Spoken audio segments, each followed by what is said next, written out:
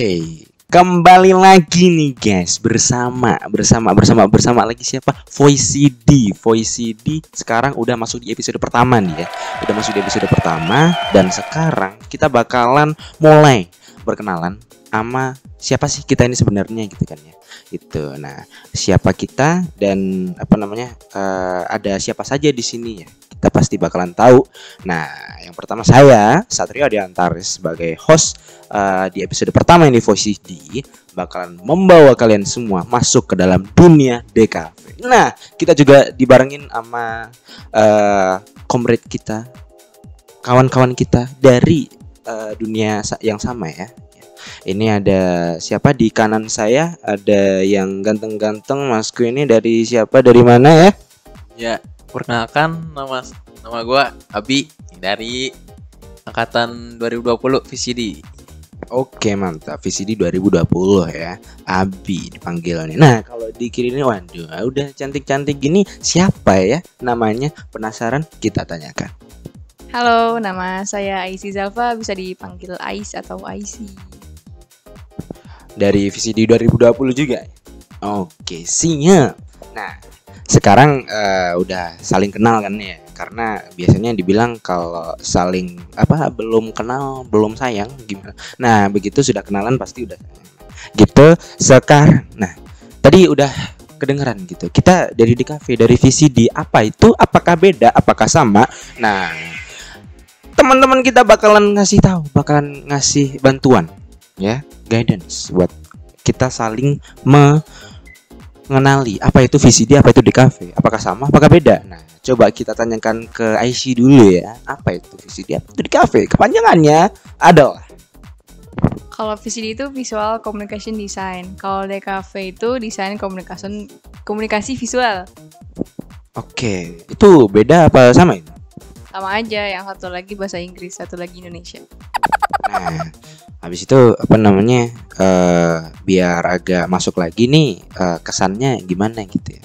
Eh, sebagai mahasiswa di Cafe VCD, di Cafe VCD, nah, di Presiden University gitu. Nah, eh, FYI for your information eh, di Presiden University, eh, kampus kami tercinta itu eh, VCD punya pemfokusan nanti ya. Itu jadi eh, bakalan ada nggak cuman cuma satu doang satu jurusan. Habis itu lulus udah selesai nggak itu nanti bakalan ada. Nah apa? Coba kita tanya ke Mas Abi gitu. Ada apa aja? Ada desain grafis, eh, multimedia sama entrepreneurship. oke mantap. Ada tiga itu tadi ya guys. Nah di situ tadi juga ah ya. Ini di cafe yang ada di Presiden University masuk ke Fakultas Computing Science jadi eh, bakalan ada eh, yang saudara-saudara kami itu ya kayak IT, habis itu information system gitu. Nah, kami berkecimpung di satu arena yang sama gitu ya. Nah, di sini nanti juga bakalan ada nih guys prospek. Nah, biasanya di kampus-kampus lain kan juga ada tuh ya kan. Nah, prospek apa nih dari kampus ini, dari jurusan ini nanti lulus jadi apa gitu. Nah, kita tanyakan nih eh, mahasiswa-mahasiswa DKV yang udah masuk, mereka mau jadi apa gitu. Prospek yang mereka tahu jadi anak DKV itu nanti lulus jadi apa gimana gitu. Nah, coba kita tanya ke Mas Abi dulu. Ya, prospek ke depannya sih kerja di stasiun TV ternama sih. Ya. Eh, ambil bagian yang eh handle kamera apa sutradara apa gitu segala segala macam yang eh sama peminatan dengan multimedia gitu Nah, itu tadi apa namanya kalau misalnya ada dari multimedia nanti lulus. Nah, jadi apa namanya eh, di pertelevisian ya. Nah, kalau dari Mbak Ais nanti kalau misalnya lulus itu nanti eh, prospek yang dia lihat itu dia taunya apa aja gitu nanti anak DKV lulus bisa jadi apa gitu ya coba kita tanyakan Hmm, bisa advertising itu periklanan, kemudian bisa branding, bisa jadi art director. Banyak sih soalnya kan konsentrasinya juga terbagi gitu. Sebenarnya multi gitu. Eh, bisa apa aja. Mantap dah. Oke oke oke. Nah gitu kan. Nah eh, itu tadi sudah dari Mas Abi dan Mbak Aisyah ya. Nah, itu tadi juga nih kalau misalnya pada belum tahu, mungkin tadi contohnya kayak gimana belum tahu kan.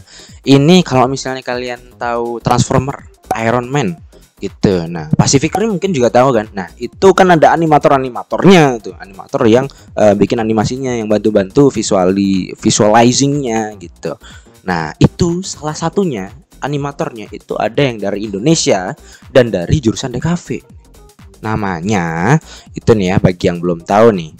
Nah, itu namanya Andri Surya, Mas Andri Surya gitu. Nah, ada juga bagi kalian eh, suka komik-komik di sini juga eh, jurusan DKV itu terkenal juga lulusannya sebagai eh, komikus-komikus di Indonesia ternama. Bahkan ada yang sampai di luar juga, sampai internasional, gue internasional ada gitu. Salah satunya mungkin yang tahu si Juki, nah, Fazameong gitu. Terkenalnya ya komikusnya itu eh, dia lulusan dari DKV eh, saudara kita, kampus kita, eh, so- kampus saudara kita itu BINUS, nah, gitu ya.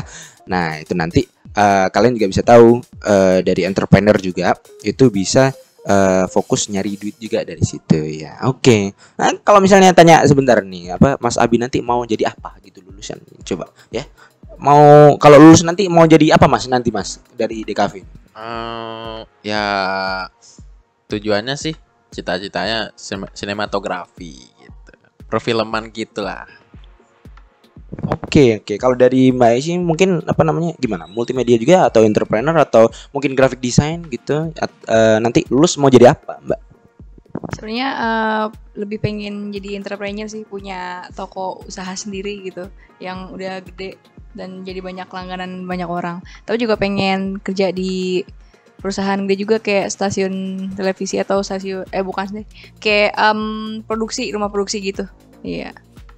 Oke mantap nah itu kan. Eh, jadi intinya prospeknya anak di cafe ini bisa dikatakan luas gitu oke. Nah oke. nah guys biar eh, omongan-omongan kita ini eh, seru didengarnya gitu ya. Tadi habis bahas pembukanya di cafe gitu. Kita udah kenal di cafe nah sekarang masuk lagi nih dapat bumbu-bumbu lagi ini eh, kita kasih dengan game game itu namanya mitos atau fakta ya kan mitos atau fakta. Oke mantap. Nah di sini kita bakalan ngomongin tentang apa-apa yang eh, kalian ngomongin sebagai listeners eh, ke kami sebagai mahasiswa mahasiswi DKV gitu. Nah ada beberapa poin-poin. Yang pertama, yang pertama ini eh, mitos atau fakta ya. Anak-anak DKV itu anaknya pasti ngide. Wah banyak yang bilang fakta nih. ya. Coba eh, karena eh, pada bilang fakta nih ya eh, kita tanyain pengalaman pribadi tentang eh, sebagai anak kafe pasti ngide. Coba dari Mbak Esi mungkin. Ya, fakta itu karena mm, tugasnya itu eh, dikasih sama dosen tuh harus ngide kayak gambar, terus eh, lukis, iya gitu. Oke, eh, mulainya dari situ ya, gambar atau ngelukis gitu. ya. Itu eh, basic-basicnya gitu dari anak-anak di kafe itu nanti ya. Eh, gimana kalau misalnya dari Bang Abi ini gimana? Apakah eh, dia ngide atau dia pernah ketemu anak ngide atau bagaimana gitu? Ya ngide sih pernah ketemu anak ngide iya. Eh gua ngide sendiri iya. Ngi- Jadi ngadak ngide. Iya pernah juga. Jadi ya lagi suntuk-suntukan di teras eh, kayak lagi jenuh gitu kan. Perlu perlu ide sesuatu dengan tugas itu di teras rumah sambil ngopi ngecil gitu kan. Kayak eh ya udah dapat inspirasi. Terus ketemu sama teman-teman yang ngide juga. Gitu. Jadi ya nyambung aja obrolannya gitu. Jadi ya gitulah. Jadi apa namanya otak gitu eh, bisa encer gitu ya, bisa encer gitu. Nah berawal dari tugas, habis itu ke keseharian gitu pasti anak-anak di kafe pasti ngide gitu. Fakta. Oke yang kedua, anak di kafe apakah mitos atau fakta? Jarang tidur. Bosku, fakta. Oke mantap. Nah eh, gimana tuh? Eh, mungkin ada pengalaman pribadi mungkin dari eh, Mas Abi pernah merasakan jarang tidur nggak pernah tidur atau bagaimana atau sering tidur. Coba dari bang Abi gimana? Eh sempat sih kayak jarang tidur gitu karena tugas numpuk. Hmm, tugas numpuk dari dosen. Jadi jadi gua dari gua sendiri sih kayak ya kering kelupaan. Jadi ya numpuk itu hamin berapa jadi numpuk. Tugas padahal tugas dari deadline Hamin berapa minggu gitu. Jadi ya numpuk lah. Jadi apa namanya abis itu ya kena udah ditampar sama tugas dari dosen gitu ya tidurnya gitu eh, jadi jarang gitu. Nah itu sampai keseterusannya deadline juga waduh jadi kawan seperjuangan gitu. Nah kalau dari Mais gimana? Eh, apakah ada pengalaman jarang tidur gitu? Coba kita tanya. Iya, sebenarnya eh, kalau misalnya tugas itu dikasih dosen kan dari Hamin satu minggu. Cuman kita kan tugasnya numpuk gitu. Terus em, ya kita kan eh, anak desain ini bekerja dengan emosi, emosi. Ya, jadi sesuai mood gitu ngerjainnya. Iya, jadi Jadi perasaan gitu bisa masuk gitu ya untuk apa namanya tugas pun bisa masuk gitu perasaan. iya harus dituangin juga ke mana ke tugasnya itu. gitu. Jadi gitu ya guys. Nah, oke oke guys. Nah, ini apa namanya? Lanjut lagi nih. Lanjut ke yang ketiga. Mitos atau fakta? Anak DKV harus pinter gambar. Kita dengarkan suara-suara para jiwa-jiwa roh-roh anak DKV mengatakan bahwa anak DKV nggak harus pinter gambar. Itu mitos. Nah, mungkin dari apa namanya Bang Abi dulu nih. Mungkin eh, dia adalah seorang pelukis terkenal, mungkin eh, seorang apa ini ya? Gimana? Apakah dia pinter gambar atau bagaimana, Bang? Ya dari jiwa dan raga tidak bisa gambar, tapi memvisualisasikan dari kamera dan penge- pengeditan duniawi. Duniawi. Asik gitu. Tadi ya harus dipaksa biar dapat nilai yang bagus dari dosen-dosen. Gitu. Jadi apa namanya? eh, ini emang memotivasi sekali ya gitu. Jadi kehidupan di kuliah ini nilai dari dosen gitu yang awalnya tidak bisa menggambar dan tidak pernah menyentuh pensil di atas kertas untuk menggambar itu ternyata nanti di DKV itu jadi wah bisa jadi ilustrator juga kalau misalnya eh, lulus nanti itu ya bisa jadi komikus bisa jadi gitu. Yang awalnya tidak punya skill tapi ternyata keluar jadi wow skillful. Nah gitu. kalau dari Mbak Is gimana nih? Jadi eh, anak anak DKV harus pintar gambar ternyata mitos. Bagaimana? Ada opini pribadi mungkin? Kalau kalau aku sendiri aku kan uh, dari kecil hobi gambar. Jadi enjoy enjoy aja sama sama tugas-tugas dosen. Ya, baru nih ini baru. Jadi kayak apa namanya ada gambar jiwanya ada. Bukan jiwa dan raga tidak ada gitu. Bukan ya.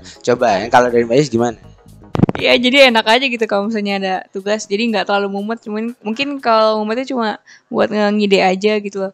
Terus juga kalian jangan takut kalau saya belum bisa gambar di sini uh, kayak diajarin dari dasar banget gitu loh.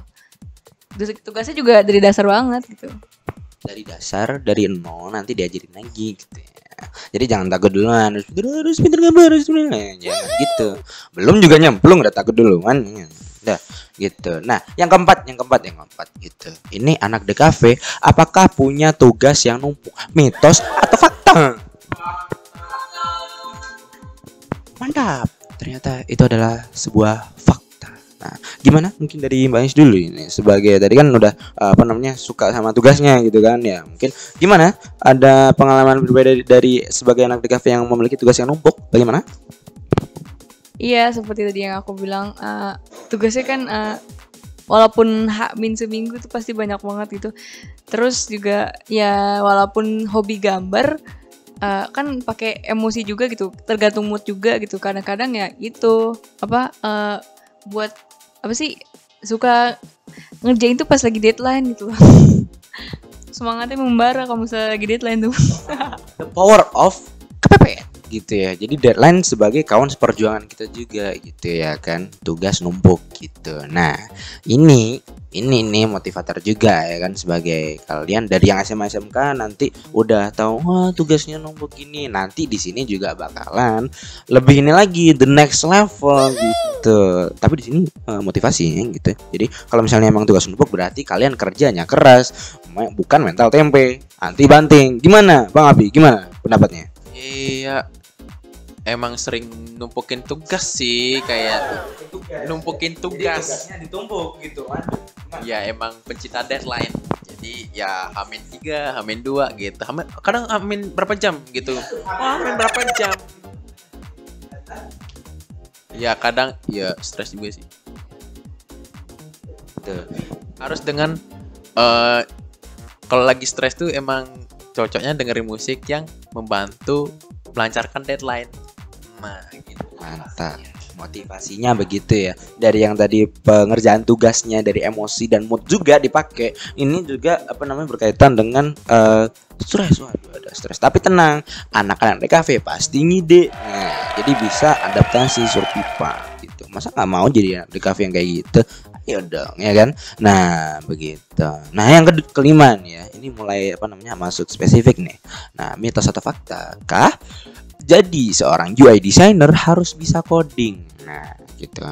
Penasaran atau pada belum tahu nih UI designer apa sih kok tiba-tiba ngomong UI designer gitu. Nah, UI, UI, UI ini biasanya pasangannya sama UX nih ya. Bagi kalian yang belum tahu, itu contohnya gampang ini aplikasi. Misal di mobile gitu kan. Ada aplikasi apaan gitu, Facebook atau misalnya ada apa lagi nih, Bibit Reksadana. Waduh, gitu itu harus ada apa namanya yang mendesain itu bagaimana biar pendownload penggunanya itu waduh merasakan enak gitu penggunaannya gitu. Harus ada dalang di balik semuanya. Pendesain di balik itu semua gitu. Jadi tampilannya enak. Nggak aduh mata gua mata gua sakit lihat ini waduh. Burik burik waduh jangan gitu. Jadi ada UI UX desainernya gitu ya kan. Itulah kerjanya UI UI UX designer gitu. Nah dari situ ada pertanyaan soalnya biasanya ada yang apa namanya pakai coding gitu kayak pakai kode-kode gitu. Nah, apakah itu harus coding? Bisa. Mitos atau fakta? Bisa didengarkan sendiri ya. eh, roh-roh dari anak di cafe ini mengatakan bahwa itu adalah mitos gitu. Bagaimana? Mungkin dari Mbak mungkin ada eh, pendapat tentang ini? Ah ya mitos. eh, tapi kalau misalnya belajar coding itu eh, dasarnya kayaknya lebih bagus bisa sih. Karena kan kalau dengan UI ya user interface itu ya bu- ngebuat aplikasi itu emang ya harus ada coding. Ya jadi enak. Iya. Nah, kalau dari Babang Abi bagaimana? Apa namanya harus bisa coding gitu atau mungkin dia seorang codingers atau coders codingers gitu. Gimana, Bang? ya harus dipelajarin juga itu buat ke depannya kalau misalkan kita me- meminat eh, peminatannya desain grafis harus bisa coding juga. Kadang kayak ke desain ngedesain aplikasi yang gimana eh, UI-nya gimana. Jadi kita sebagai ntar sebagainya orang-orang peng- pengguna itu lagi lebih enak lebih simpel jadi kayak gitu. Itu sih untuk menambah wawasan Jadi nggak rugi juga gitu lah ya. Kalau misalnya belajar coding gitu nggak apa namanya nggak rugi juga gitu. Nanti kalau misalnya diminta untuk ngoding-ngoding ya udah bisa gitu. Nggak aduh gimana ketemu coding waduh I'm shocked gitu nggak nggak kayak gitu ya. Nah oke Teb- setelah itu ya ini ada kalau tadi kan mitos satu fakta. Sekarang nih lanjut ada nih segmen selanjutnya. Segmen waduh udah kayak di TV-TV aja gitu.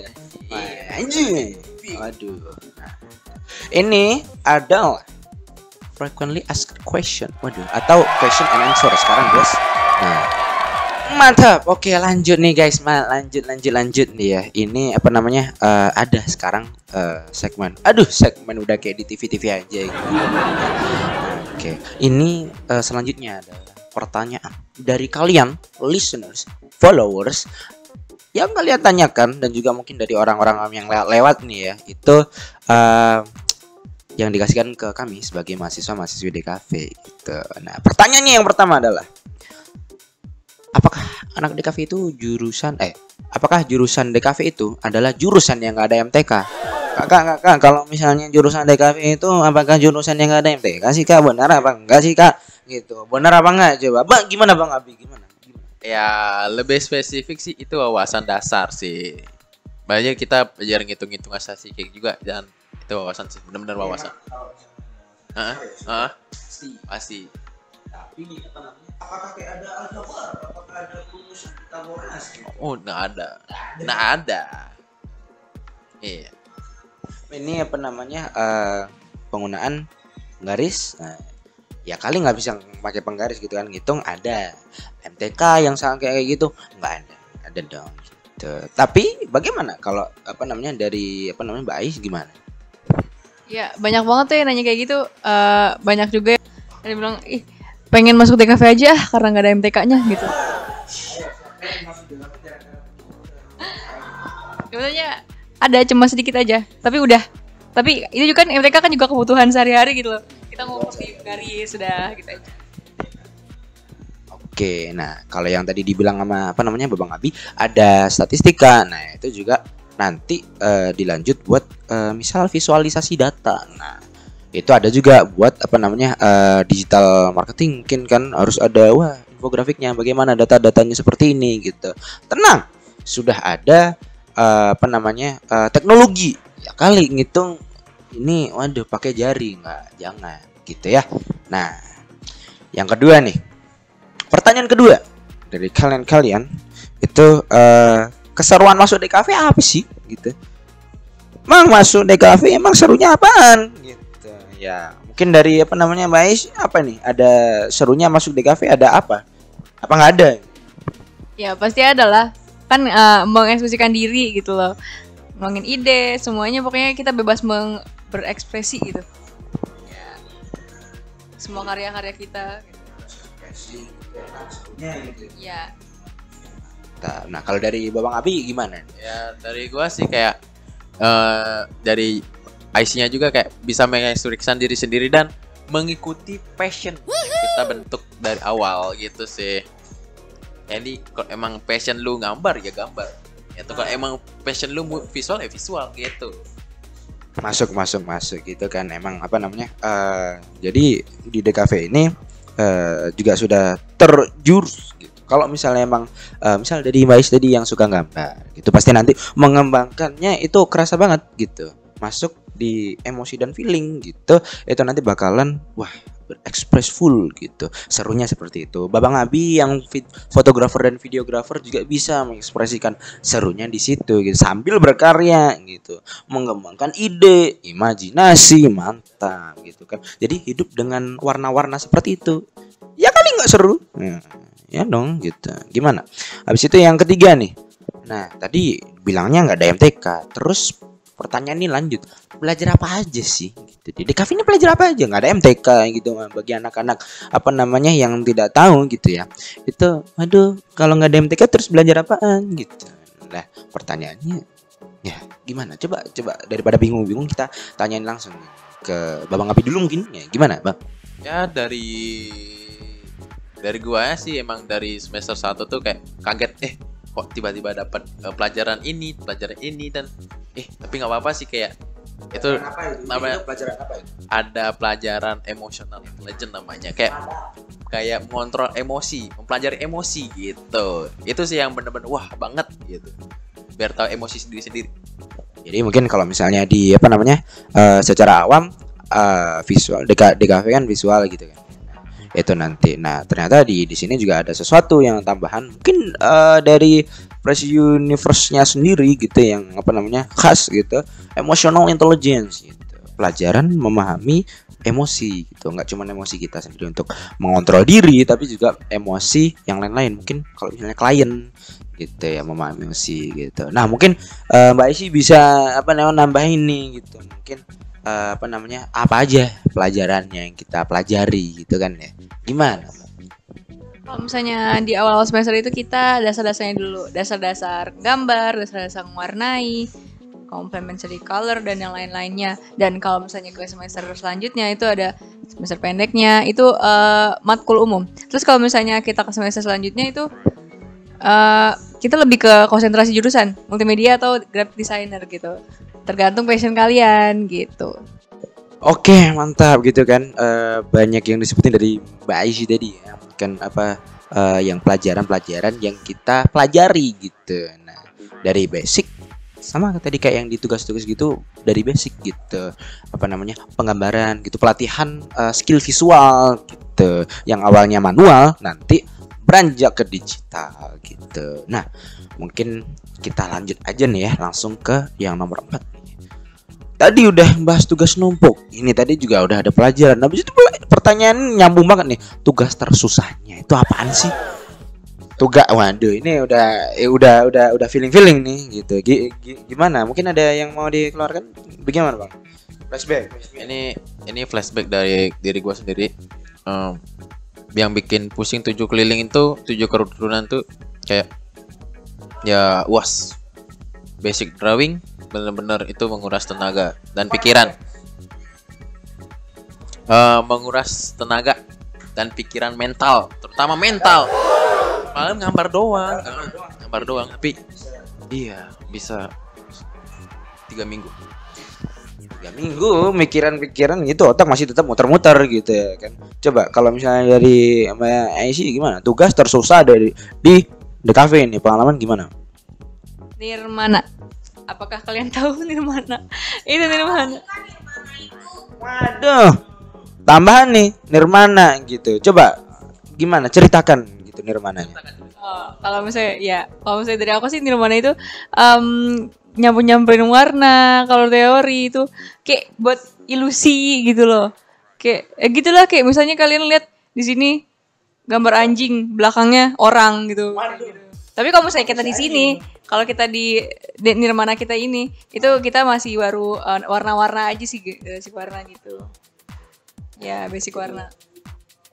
Dari apa namanya yang awam-awam mesti ah ini apa? gitu. Ini warna ini ilusi ini apa? gitu. Kalian emang tidak tertarik gitu bisa mempelajari manipulasi gitu kan. Optical illusion habis itu bisa apa namanya memanipulasi visual gitu. Menarik penonton dari jarak jauh bahkan gitu kan. Yang awalnya dari kelihatan anjing ternyata jadi manusia gitu dan kebalikannya gitu. Masa nggak mau? Tapi di situ challenge-nya di situ gitu kan ya. Oke mantap gitu. Nah oke lanjut nih. Yang kelima gitu DKV atau VCD di Presiden University ini eh, kayak gimana? Coba mungkin eh, sepatah dua kata gitu yang bisa mendeskripsikan gitu. Itu VCD ini bagaimana di Presiden University? Mungkin eh, lebih khususnya ya gitu. Gimana eh, penampilannya atau mungkin eh, pengalamannya yang dirasakan. Bagaimana abang?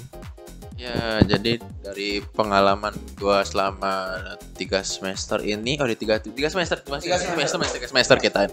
Eh, banyak jadi ke semester 4 ya. Jadi eh kawan-kawannya asik, dosennya apalagi uh emang bener-bener sangat sangat asik. Asik banget asik banget. Asik iya saking sangat asiknya tuh kasih banyak tugas sangat dermawan. Sangat dermawan sekali kan tugas. Jadi tidak tidak pelit pelit tidak pelit pelit tugas. Jadi sampai kayak ngumpulin binter hmm, binter banget ya gitu. Nah itu kesan kesan pesannya di di cafe Presiden University itu. Kehidupannya anak-anak di cafe di Presiden University seperti itu. Asik asik asik semuanya asik. Oke, nah itu tadi ya apa namanya eh totally eh, secara konklusi gitu eh, enak-enak. Ya kali nggak enak gitu ya kan. Nah pastinya itu bikin kita stay gitu di DKV ini. Nah tentang bisa stay di sini gitu VCD Presiden University gitu penasaran gak sih gitu apa motivasi apa motivasi gitu yang kita kita ini miliki gitu nah jadi mungkin juga apa namanya eh, curhat tentang pengalaman ter eh, pengalaman yang paling diingat dari semester 1 sampai sekarang mau ke semester 4 nih gitu ya kan. Mungkin dari yang pertama motivasi sebagai seorang decavers gitu ya. Itu apa yang bikin bisa stay di VCD Presiden University? Tuh, yang pertama dari Babang Abi, bagaimana? ya kita harus enjoy sih di terima-terima tugas tuh jangan terlalu terbebani banget. Ya dari pengalaman gua sendiri sih selalu terbebani oleh tugas-tugas ah jadi kayak stay chill kayak ya ikutin alur aja flow aja gitu kayak emang ngerjain tugas ya kerjain kalau emang ya lagi santuy ya santuy gitu aja sih Jangan dibawa berat, jangan baper. Iya emosi, tapi jangan langsung baper masuk. Nanti nangis. Nah, jangan. Nanti nangis, jangan gitu. Gak apa-apa nangis, tapi jangan berketerusan gitu loh ya masa anak mama gitu jangan dong. Kasihan mamanya di rumah gitu. Gimana mbak kalau misalnya eh, motivasi yang bikin stay dan semangat gitu di sini jurusan DKV mungkin di Presiden University lebih tepatnya.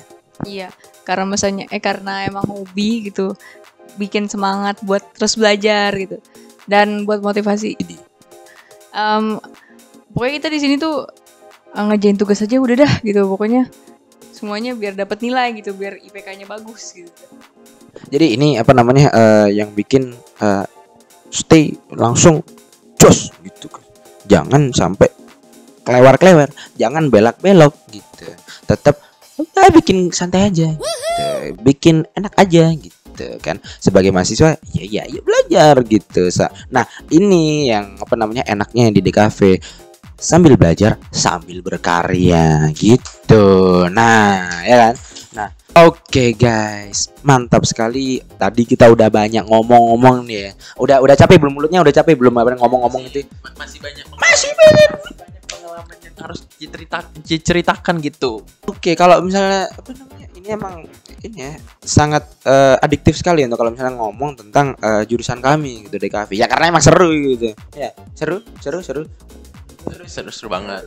Ya kan, ya, masa masa masih nggak mau sih dari kafe ayo dong gitu. Gabung gabung gabung gitu loh. Biar bisa eh, di voice CD juga gitu kan ngepodcast bareng gitu. Nah gimana? Setelah itu semua terima kasih sekali untuk kalian yang sudah eh, mendengarkan sampai ke penghujung acara ini.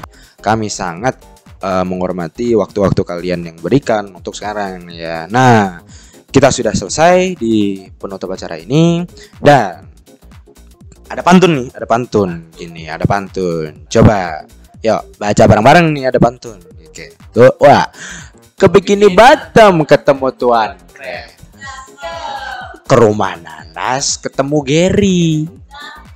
Jangan lupa komen, like, and subscribe.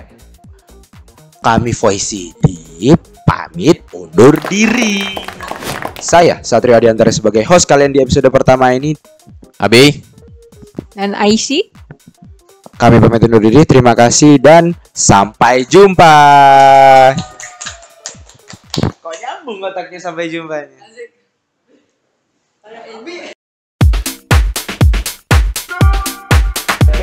Oke, pantun, kamera, rolling and action. Buat, buat, buat, Terima kasih.